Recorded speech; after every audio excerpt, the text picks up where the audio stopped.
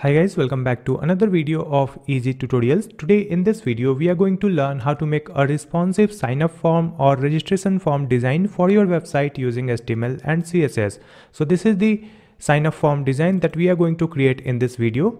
You can see in the left side, I have this image and in the right side, we have the title and one link. Continue with Google or we have the email ID and password field and a register button. If I change the screen size, you can see this web page looks perfect in different screen size. And this is how it will display on your phone screen. And this is how it looks on laptop screen size.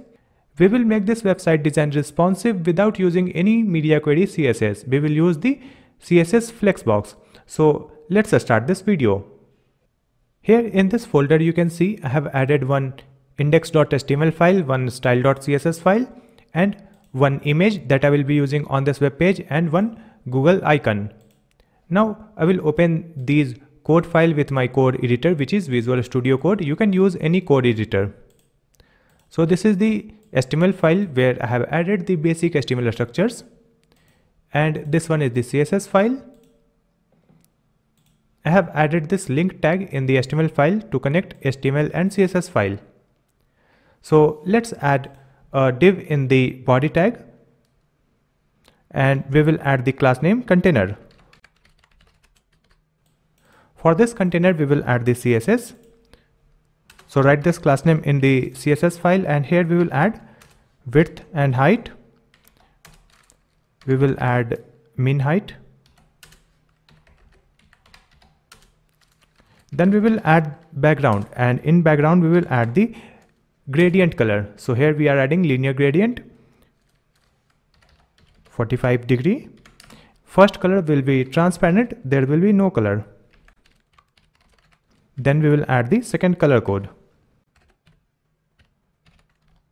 After that we will add display, flex and uh, align items center, justify content center so that contents we will add within this container that will be in the center of the web page and here let's add some padding. After adding this, we will open the HTML file with any web browser. So you can see this gradient color on this web page. Next, we will add another div here. So let's add a div with the class name sign up box. And within this sign up box, we will create two columns. So let's add the first div with the class name col1 duplicate it and write the class name col2 so in the first column we will add only one image. So let's add the img tag write the file name of the image.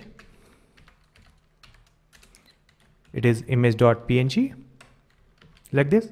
And in the second column we will add some title. So let's add a title in H2. After adding this, let's refresh the website and you can see this image in the center and below this image we have the title. So we have to align this image and title side by side. So let's come back and copy this class name sign up box.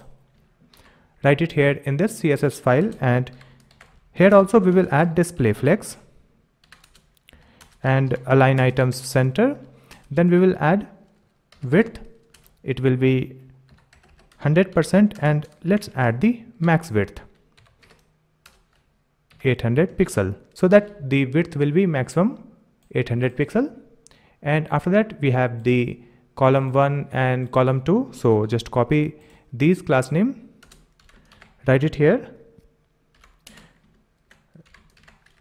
Column 1 and column 2 and here we will add flex basis 50%. So column 1 and column 2 will take 50% space.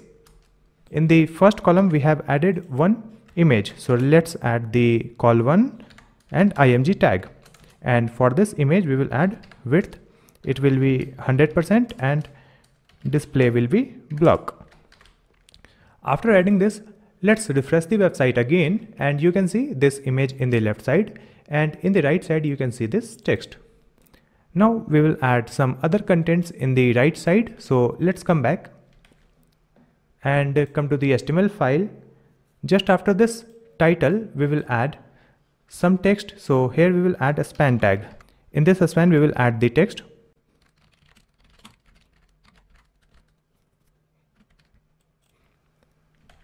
So you can see this text here and after this text there will be a link. So just come back and here we will add a tag and the link text will be login. Now you can see this link here, login. So after adding this, let me come back and uh, copy this class name col2 write it here in this CSS file. For this second column, we will add the background. It will be white color. Then we will add some padding. So let's add the padding of 40 pixel from top and bottom and we will add 8% padding from left side and right side and after that we will add the color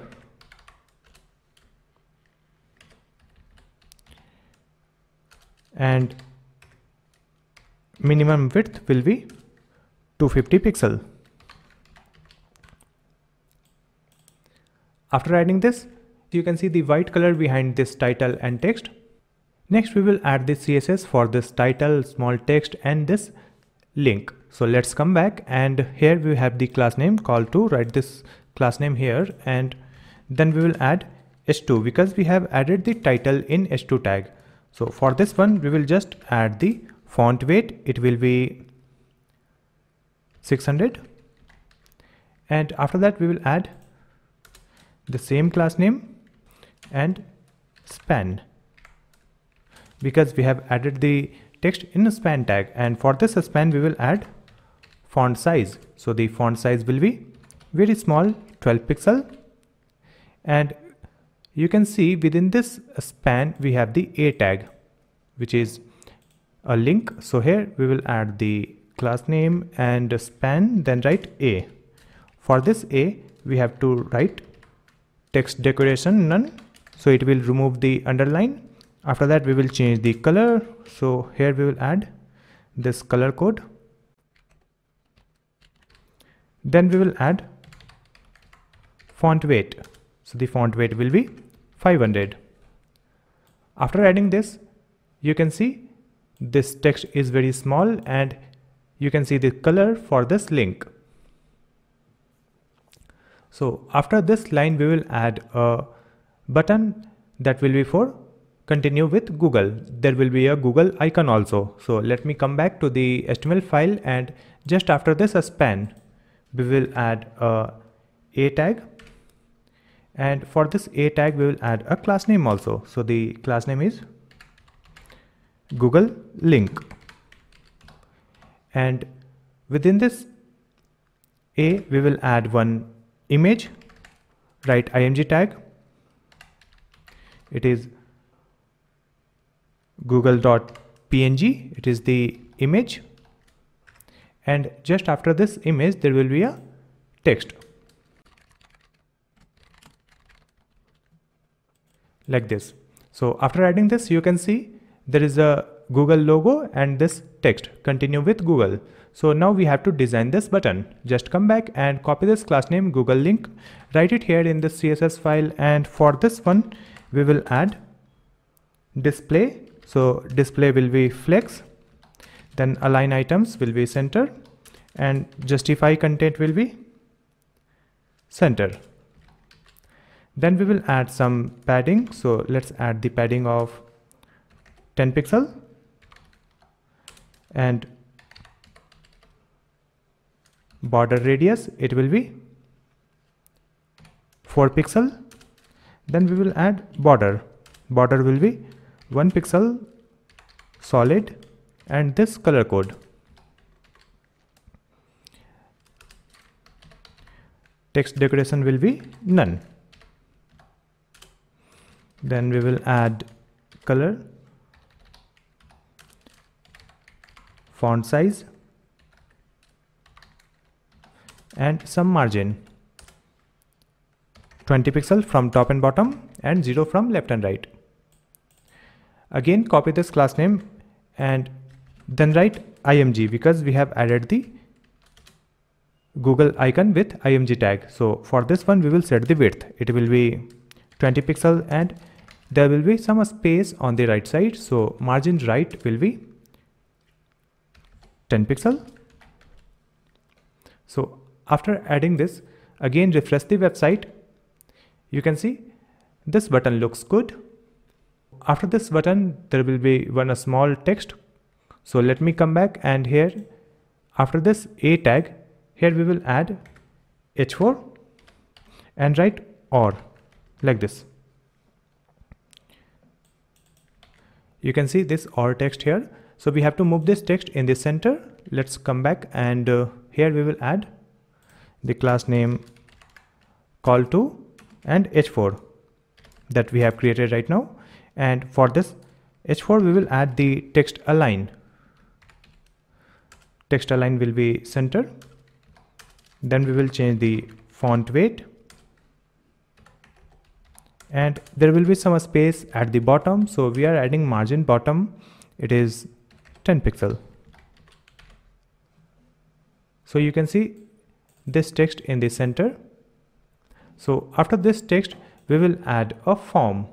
So for that we will come back to the html file. And after this h4 let's add some space. And here we will add form tag. And within this form there will be two input field and two text for the input field that will be in label. So let's add a label tag and in this one we will add text. So it is email address. After that we will add one input box. So write input tag type will be email. Then we will add the placeholder in the placeholder we will add the text that will be displayed inside the input field. So here we will add text enter your email. And here let's add a class name. So the class name is input field like this. Next we will add one more text and one more input field. So just duplicate it. And here we will change the text it is set password. We will change the input type. So the type will be password. And here we will change the placeholder. Enter password. And the class name will be same. Like this. Now you can see this text and one input field. Again we have the text and one input field. After that we have to add a, small checkbox and there will be some text and link. So let's come back and here we will add a div with the class name row. And within this div we will add input box. Input type will be checkbox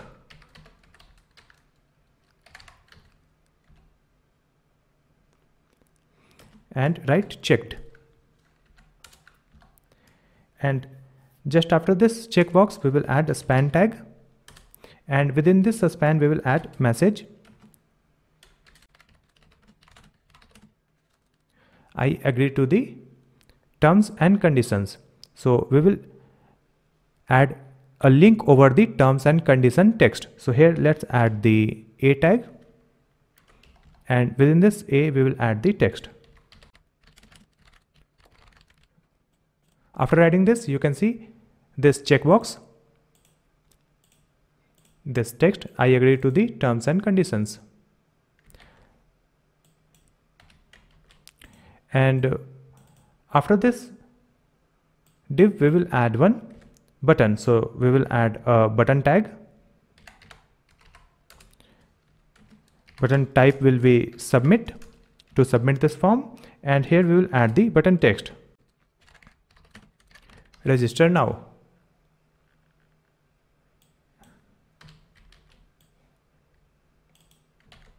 You can see this button on the web page. Next we have to add the CSS for this form and all the input fields. So let's come back and uh, here you can see we have the class name input field. Just copy this class name, write it here in the CSS file and for this one again we have to add the same border and border radius that we have added earlier and we will add the padding also. So let me just copy from here. We will copy the padding, border radius, border. Just copy this three lines, paste it here. And after that we will add outline, none. Then we will add display block width 100%. After that we will add some margin. Let's add the margin of 5 pixel, 0 and 10 pixel. 5 pixel from top and 10 pixel from bottom. After adding this, you can see this input fields looks good. Next we will add the CSS for this label text. So let's come back and here we will add form tag then label. And for this one we will add the font weight. It will be 500 and we will decrease the font size. So the font size will be 12 pixel. Now this text is small and it is looking good. Next we have to add the css for this area where i have added this checkbox and this text. So let's come back and here we will add the class name that is here row let's copy this class name write it here. And here we will add display flex align items center. And in this row there is a input box for checkbox. So here we will add input and for this input we will add margin from the right side. So margin right will be 6 pixel. After adding this, this line is looking good. Next, we will add the CSS for this button. So let's come back and here we will add col2 form button. For this button, we need the same CSS properties that we have added in the input field. So just copy this one and paste it here. And here we will change the margin. So let me increase the margin from the top. It is 18 pixel and after that we will add the background color. So here let's add the background and this color code. After that we will add color. It will be button text color which is white and cursor pointer. Just after adding this refresh the website and you can see this button looks good. So we have added all the contents and designed this web page and it is looking good. Now we will change the screen size and we will see how this web page looks on different screen size. So right now you can see this web page is looking good but as I decrease the screen size you can see how it is looking. It is not looking good in a smaller screen so we will fix this one. So let's come back. Here we have added the class name called sign up box. In this one we will add flex wrap. It will be wrap after adding this, again refresh the website. If I reduce the uh, screen size, this form is going just below the main image, but it is not using the entire space. The right side is empty. So it is not looking good. So again, we need to add some CSS. So let's come back and here in this column 1 and column 2, we have added the flex basis 50%. That's why it is only using the 50% space. So here we will add flex grow 1 just after adding this one line of code again refresh the website and you can see on a smaller screen also it is using the entire space and it is looking perfect on smaller screen devices like mobile phone. And it is also looking good on larger screen. So this is how we have created this responsive sign up form design without using any media query. I hope this video will be helpful for you. If you have any question, you can ask me in the comment section. Please like and share this video and also subscribe my channel Easy Tutorials to watch more videos like this one. Thank you so much for watching this video.